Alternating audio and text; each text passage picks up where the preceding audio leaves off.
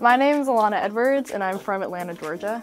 Hi, my name is Samantha Corley, and I'm from Maryland. One thing that I'm most excited for about college would probably be meeting new people. I would have to agree with that, along with the classes. And the one thing I cannot leave home without was my Hydro Flask water bottle. One thing I couldn't leave home was my Uggs. Hi, my name is Jake Adams. I'm from New Jersey, and I'm hoping to study health and exercise science.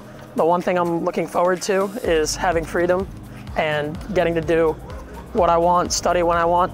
And the one thing I cannot live without is my computer. Hi, I'm Julia Foringer. I'm from Green, Ohio. I'm most excited um, about meeting people and getting involved on campus as a Demon Deacon.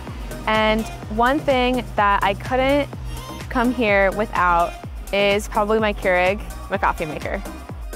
Hi, I'm Amira Moinuddin. I'm from Lahore, Pakistan, but I've lived in the Middle East for 10 years now, and I hope to study political science and double major in statistics.